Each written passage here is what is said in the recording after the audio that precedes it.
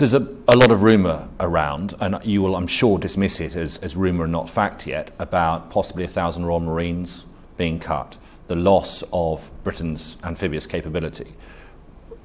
Whether or not there's truth in it, there are thousands of men, women, and their families out there who don't know what their future is like as a result. Is there anything you can say to try and reassure them?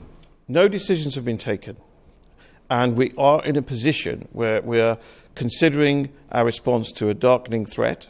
We're looking at the way in which we modernize and adapt.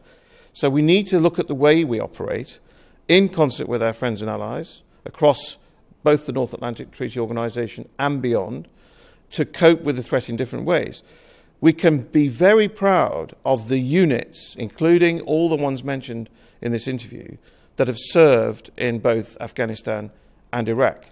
But the way they operate has evolved and will continue to evolve.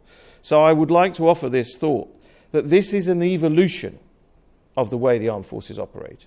It's not a revolution, it's an evolution, and actually, we've always evolved.